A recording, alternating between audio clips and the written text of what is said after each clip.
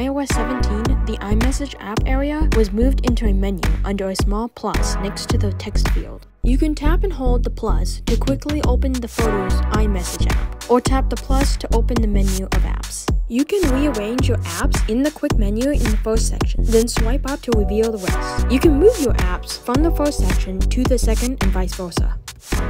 If you go to Settings, Messages, then iMessage apps, you can enable or disable iMessage apps, or delete iMessage only apps.